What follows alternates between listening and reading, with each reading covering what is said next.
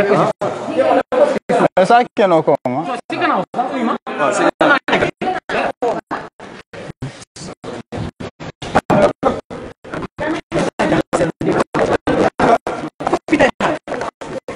Però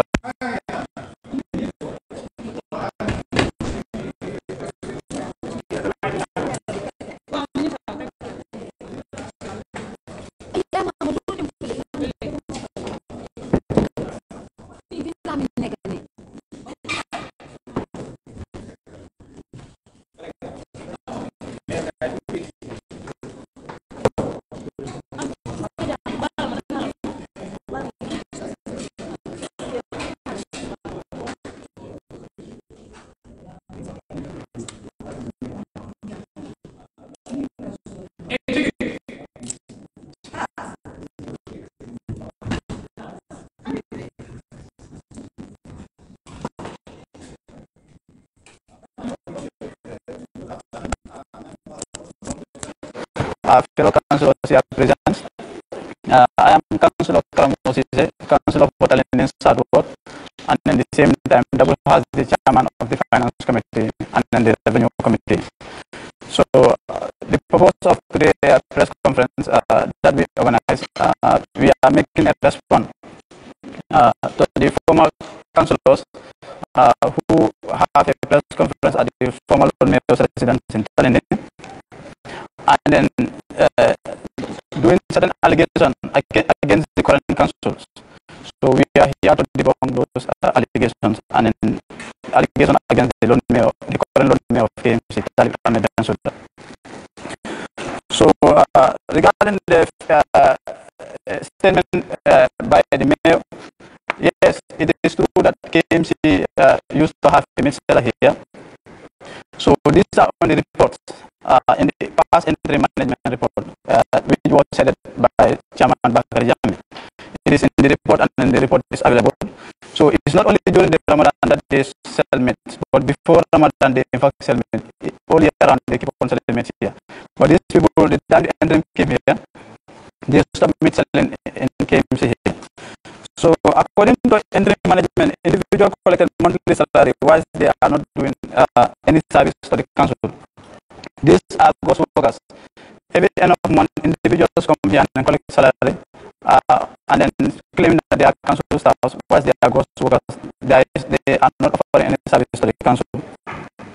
From 2015 to 2016, individual councillors and other members request for payment for birthday celebration. Example, former councillor for Ipotan, Molamin Baji, a check number 006 from Janet Bank Limited, voucher number PV 150391, dated 21st May 2015, at the tune of $260,000 plus an annual expenses of $500,000 independence celebration in the form of an imprest. So this former councillor keep on making a request on behalf of the former ex-president's birthday. So whether he used the money for his personal usage, we don't know. But there are evidence, and then I, the check number is here, the voucher uh, number is here, and then the amount that is two hundred sixty thousand paid to Molamin Baji requested on behalf of the former president. So and then again, uh, from 2014 to 2016, every year the same people keep on requesting 500,000 every year from 2014 to 2016. 500,000 dollars claiming that uh, they are using that money for independence celebrations. In the interim management report, former councillor Mola Baji, he diverted 816,465 dollars from the market use for a cultural festival in Kanilai. So the same councillor Mola Baji, he took this some amount of money, that is $816,465, and then claimed that it is going to be used for festival uh, at Kanilai. So we all know in the Finance and Audit Act, uh, it is mentioned there, council's revenue must be spent on council, or within that particular jurisdiction of the council, but not outside the council, which is very, which is illegal. So again, the report shows that January 26, 2015, council paid five hundred and twelve thousand four hundred dollars four hundred dollars to Badala Park Hotel through a bank transfer for Arab Gambia Islamic Bank, voucher number PV 150177 for accommodation of 130 38 people for six days. So according to the mayor's statement, this is true. They were paying uh, just whom you know that they are coming from Casamas, and then, and then, and then this amount was being used five hundred and twelve thousand four hundred dollars. This just we are lodged at Badala Park. So those who are claiming that the mayor mentioned the name of a tribe, mayor never mentioned any name of a tribe. Mayor mentioned a region, and that region is outside the country. So in case uh, those who are saying that the mayor mentioned a tribe, they are misleading the public, and the residents of KMC take notes. They are misleading you. So 2014, according to the interim management report, there are only five trucks in active service for a waste collection, not 25 tractors and trailers. In the same year, Council spent $12 million for procurement of used vehicles from a supplier called Nyagabanda, which are not roadworthy. This matter was still at court with the new council. So they having a, 20, a 25 a waste trucks that we are doing a collection. We all know in 2014. Yes, in 2014. So this. How many residents will say that KMC used to collect their waste for you for free? It is not true. And then again, we never find any 25 uh, waste collection, uh, collection vehicle in KMC here. Again, these people will take, take taxpayers' money and then buy a used vehicle, which is against the Procurement Act. Taxpayers' money cannot be used And most of these vehicles are not roadworthy and they never collected a single waste or single operation in the, since they were uh, been brought to the Gambia with one supplier called Nyagabanda. And still the issue is at, at the court and we can furnish with the documents. Mr. Rambo Jada received $230,000 from KMC, from KMC for a community radio station in 2016 through Sanyakunda Enterprise, owned and operated by one nominated councillor Molamin Sanya. Whilst Mr. Rambo Jada is not a registered vendor, some part of this uh, radio equipment are delivered, some part are still missing. So, for you guys to take note, uh, $230,000 was given to Mr. Rambo Jada for him to deliver a, for him to do a service for council for radio stations and up to date. Uh, some parts have been delivered, some parts are not been delivered. So according to the entry management reports, uh, most of the council suppliers used to be councillors. So this Owned by a particular councillor called Momon Lamin Saya. Uh, so it, it is in the entry management report and will furnish you those. So during the press conference by the former councillors, our response to them, Mayor Ben should have a